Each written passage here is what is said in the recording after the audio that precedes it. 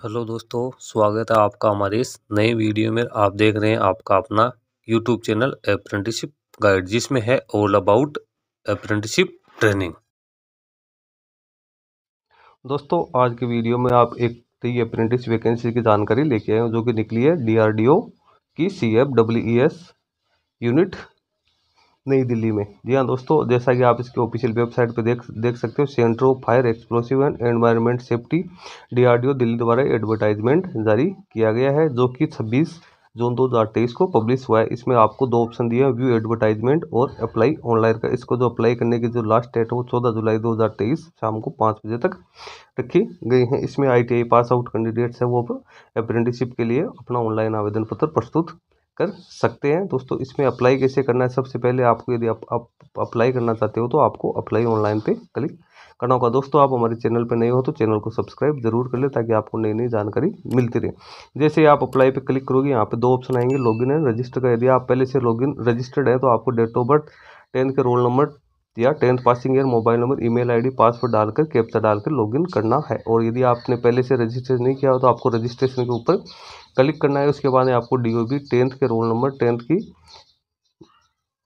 passing year name email ID phone number enter password और confirm password डाल के captcha डाल के आपको सबमिट करना है और आपका रजिस्ट्रेशन सक्सेसफुली हो जाएगा। उसके बाद में आप इसके लिए ऑनलाइन आवेदन कर सकते हो। दोस्तों ऑनलाइन आवेदन पत्र बनने से पहले आपको एक बार इसका एडवर्टाइजमेंट है, वो अच्छी तरीके से केयरफुली रीड करना है। इसके लिए आपको व्यू एडवर्टाइजमेंट के ऊपर क्लिक करना होगा। जैसे आप इस पर क्लिक करोगे एडवर्टाइजमेंट डाउनलोड हो जाएगा, जिसमें आपको सारी डिटेल्स है, वो आपके सामने आ जाएगी, जो कि मैं आपको अभी इस वीडियो में बताने वाला हूँ।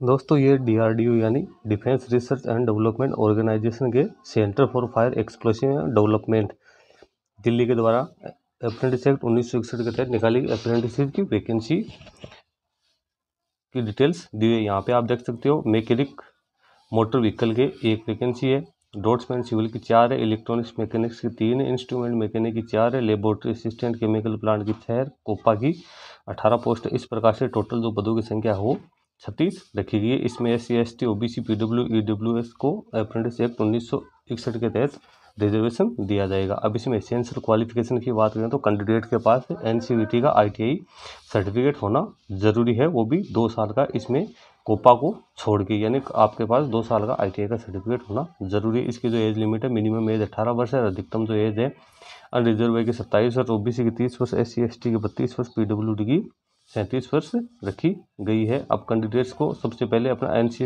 N C T M I S portal पर अपना रजिस्ट्रेशन करना। मैंडेटरी जिन कैंडिडेट्स ने दो हज़ार इक्कीस बाईस में ये एलिजिबिलिटी हासिल की है, वही इसके लिए आवेदन कर सकते हैं। इससे पहले वाले कैंडिडेट वो ऑनलाइन आवेदन के लिए एलिजिबल नहीं होंगे। जिनके पास डिप्लोमा डिग्री है, या वो भी इसके लिए आवेदन नहीं कर पाएँगे।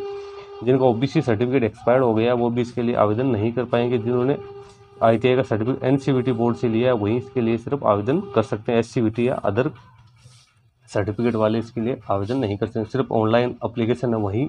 इसमें एक्सेप्ट की जाएगी रेगुलर कैंडिडेट है, वहीं इसके लिए अप्लाई कर पाएँगे। अब यहाँ पे जनरल इंस्ट्रक्शंस दिए हैं तो इसमें सिर्फ़ आपको ट्रेनिंग प्रोवाइड की जाएगी एक साल के लिए। उसके बाद में एम्प्लॉयमेंट की कोई यहाँ पे कोई गारंटी नहीं होगी। अब डॉक्यूमेंट आपको क्या क्या जो डॉक्यूमेंट वेरिफिकेशन या इंटरव्यू के समय आपको पेश करने हैं तो उसमें टेंथ और ट्वेल्थ की मार्कशीट आई की मार्कशीट एन का सर्टिफिकेट कास्ट सर्टिफिकेट और आधार कार्ड है आपको।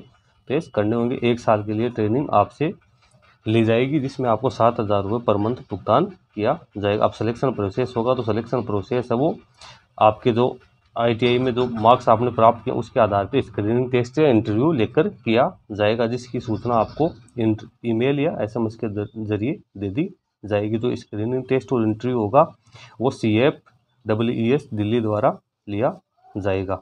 आपको अप्लाई करना कैसे है तो इसके लिए आपको सबसे पहले R C dot G O dot in के ऊपर जाकर आपको अपना रजिस्ट्रेशन करना है। रजिस्ट्रेशन करने के बाद में आपको सारी डिटेल्स वो फिलअप करनी है। उसके बाद में आपको इसका प्रिंट आउट निकाल लेना है और उसके बाद आपको सिग्नेचर करके जो भी ओरिजिनल डॉक्यूमेंट्स हैं और जो सेल्फ अटेस्टेड डॉक्यूमेंट है वो आपको इंटरव्यू के समय आपको पेश करने हैं। इसकी जो लास्ट डेट है वो चौदह जुलाई दो हज़ार तेईस रखी गई है। तो दोस्तों, ये तो C F W S Delhi द्वारा निकाली गई अप्रेंटिस वैकेंसी है, जिसमें जो एलिजिबल कैंडिडेट है वो चौदह जुलाई तक अपना ऑनलाइन आवेदन पत्र है वो प्रस्तुत कर सकते हैं। दोस्तों, आज की वीडियो में इतना ही। आपको हमारा वीडियो अच्छा लगे तो लाइक शेयर ज़रूर करना। और क्वेरी हो तो कमेंट करके बताना। धन्यवाद दोस्तों।